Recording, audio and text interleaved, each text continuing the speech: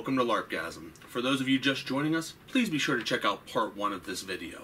For those of you continuing on, thanks for not leaving me hanging, and please enjoy the exciting conclusion to this video. So unfortunately, I don't think the original piece of wood is going to make it through this. Uh, when I cracked it open and mold all over it, I tried to eliminate that, and I think I did a good job. Unfortunately, this wood is very cracked, and it's warped, and uh, just not in very good condition. Plus, it's really chewed up from the staples. Uh, it doesn't surprise me. There's a tag on the bottom of this saying something like 1929 on it. So um, I don't know if the upholstery was that old, but if the chair itself and the wood is that old, you know, we're talking about 85 year old pieces of wood. I mean, there's no way this is going to support me. Luckily, I have this, part of my miniature gaming setup um, that I use for terrain. And it's a nice thick wood. And uh, we're going to go ahead and lose this quadrant of the gaming space so that I can make my chair. So, real simple. All we're going to do is take the old one, line it up, draw our pattern, get the jigsaw out and cut it. And I'm going to do that right now. Okay, so I traced out my pattern on this wood using a pencil. Now we're going to jigsaw it.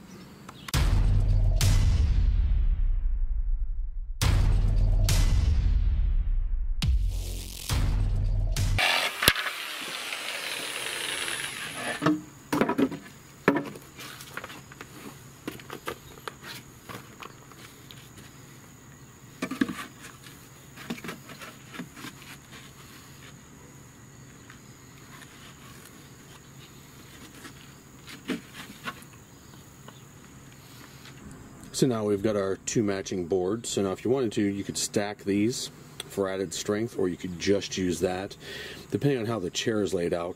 Since it's got a little sort of uh, raised area, I'm just going to use this one. If it was a recessed area, I might consider using both just for added support, but I don't see any reason to include the original because it's in such bad shape. So we're just going to move right onto this. I'm going to stain the bottom of this. I'm going to clean it up with sandpaper so it looks nice and smooth. Even though it's going to be covered, we don't want any jagged edges. And uh, from there, since it's already stained, really the next step is going to be to get some foam and upholster this thing. as far as when you cut these out, don't worry if it's not 100% exact. Uh, it's going to be close enough. Plus, once it's upholstered, it probably won't really matter anyhow. So I got my foam for the seat, I had to buy this bigger piece because the seat itself was too big for the little bit less expensive version. So I got this big piece of foam. I'm gonna cut it out. Yeah, I mean you can use your foam lathe, you can use your bandsaw, your jigsaw, um, electric knife, scissors, whatever you got to use. I might use an electric knife or a bandsaw. I have to see, but uh, whatever's gonna be faster and easier is what I'll go with. Once I get the pattern transferred on, I got two inch for the seat and half an inch for the back. I think what we'll do is double that up to make it one inch on the back and then a half an inch on the very back of the chair. You'll see what I mean when I'm all done. But uh, yeah, let's go and get this transferred and start cutting. If it's not obvious, always take one of the factory straight sides and use that as one of your ends. So that way that's one less line you have to cut nice and straight. There's no other straight lines on this particular piece, so this is the best way to do this. I'm using two inch foam because I think anything higher than that wouldn't have worked very well with this chair. I think when this chair started its life, it probably used two inch foam and it just compressed over the years. So this should give us uh, just enough cushion and the fabric won't have to stretch over too much space. We'll go ahead and put this in the corner here. And then from there, it's real simple. It's just tracing onto the foam and then cutting it out or you could just cut it out using this as your template but if you're using something really aggressive like a saw be careful you don't cut your wood that you've sanded because you don't want to mess up this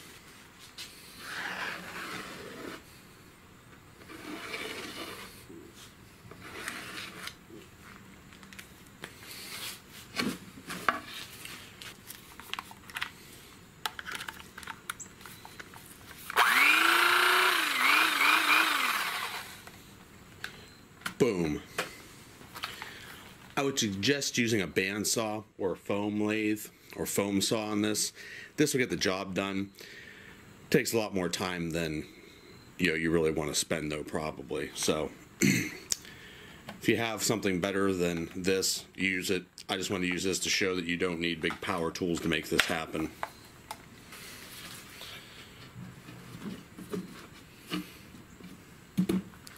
Perfect.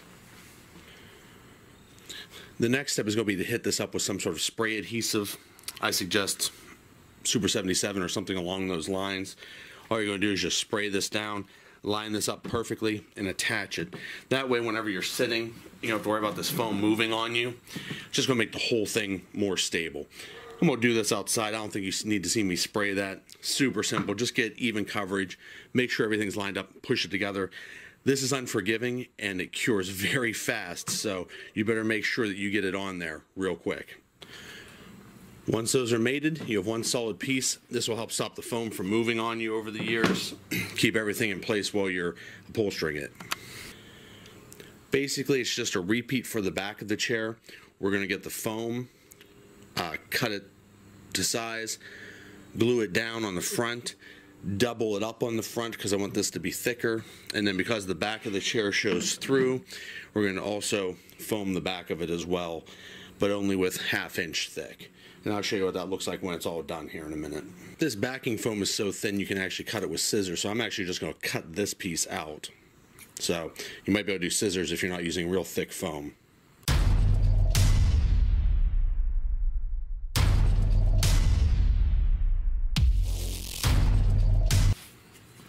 If you do a good job cutting, you'll have some excess. The excess can be used for other weapons or costumes or whatever, but gonna go ahead and we're gonna make another one of these and then glue them down. Unfortunately, I ran short on regular foam, so I'm going to use this camp pad foam. That'll be actually my first layer of backing with the soft foam on top. That way I still get two layers. It's going to be about an inch thick, and I can still do foam on the back of the chair.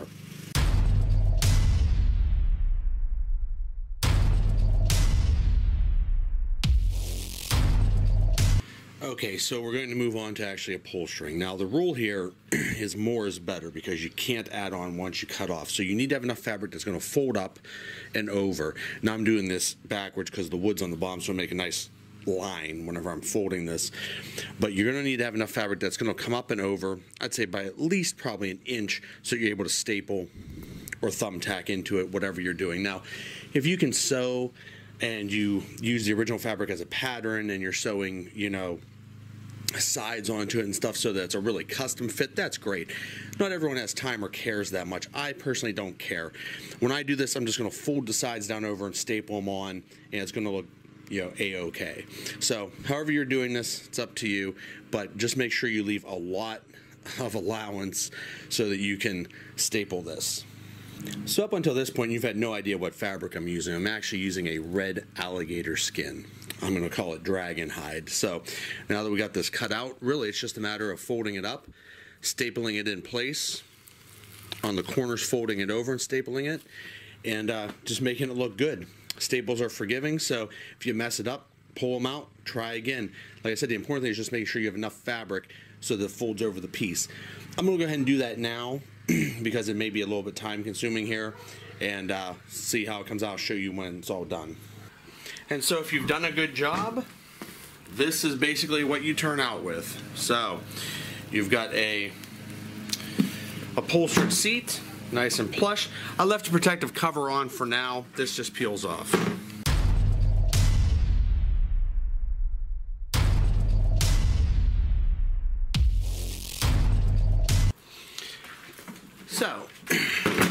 We've got one side done here. Um, now what we're doing is we're doing the back. Now I have that foamed in. But what we're going to do is we're going to run the seam down the side. This way it's concealed by the edges of the chair. So what I'm doing is I'm just folding the fabric over and then running the staples down the side. Uh, this way we can have it wrapped up real nice everything should be concealed by the actual wood on the chair. Now, if you remember, this chair actually initially came with gumdrop buttons. Now, I'm not going to do these, but all you have to do is just glue down some fabric over this and make sure you wrap it around and then make sure you mark your holes on the back of your foam and then all you would do is just punch holes through draw your buttons through, and then staple them off or tie them off. Because this is like a vinyl type material, I'm afraid putting any holes in it is going to cause it to rip over time. So I'm actually just going to skip and do one solid piece. If you're doing fabric though, you should be fine. Okay, so there it is.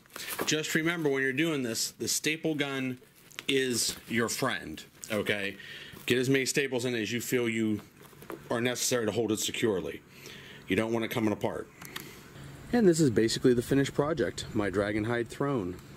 Built with mostly found and recycled things. I tried very hard to source that foam, but just wasn't able to, so I had to buy the foam and the alligator hide vinyl, but other than that, it's basically free. You'll be seeing a lot more of this in my dungeon. Now, of course, here's the back of the chair. Alright, so basically the only thing left to do is to put these on the bottom, on the legs. Um, real easy to do. This chair is old, doesn't really have these on it, so all you got to do is just hammer these into the legs. I would suggest pre-drilling small guide so you don't split the legs. In fact, pre-drill it for sure. If there's already a hole, you can probably just shove these in. If not, pre-drill it and uh, punch these in. That way, your chair is going to be nice and level and it'll slide around on the floor.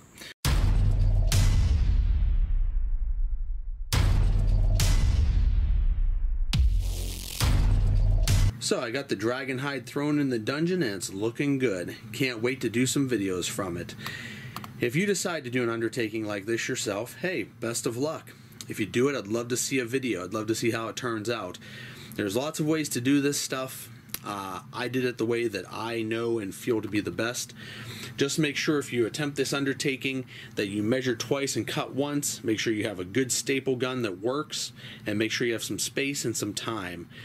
If you have money to spend, hey, that's good. You can make mistakes. I was trying to use reclaimed items and really did not have any room for error. I had just enough foam and I had just enough fabric to make this happen. Took less than a yard to do this. Still have a little bit left over in case I want to do an additional project. Until next time, adventure on.